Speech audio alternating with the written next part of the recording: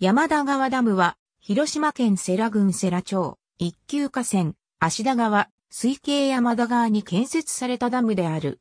広島県が管理する都道府県営ダムで山田川総合開発事業の中心事業として国庫の補助を受けて建設された補助多目的ダム。山田川流域の治水と世羅町への上水道供給を目的にしており、比較的限定された地域に対して治水、利水を行う小規模生活貯水池事業の一環として建設された高さ32.10メートルの重力式コンクリートダムである。ダムによって形成された人造湖は地元住民の意見によって地名より播磨湖と命名された。施行は戸田建設が担当し、ゼロエミッションの達成と国土交通大臣賞を受賞している。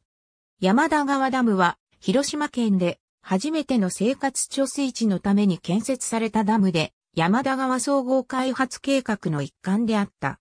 また東ダムの規模は大きくないが、芦田川水系では最も竣工したのが最新のダムである。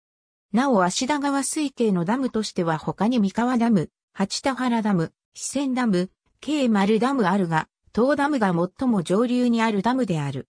なお、東ダム湖は、播磨湖と呼称するが、竣工直前には、スズラン湖になる予定であった。この、スズランは、ダムのある世羅町の町花にちなんだものであったが、地元住民から地名の播磨にするようにとの意見が強く出されたため、現在の播磨湖に変更された。ありがとうございます。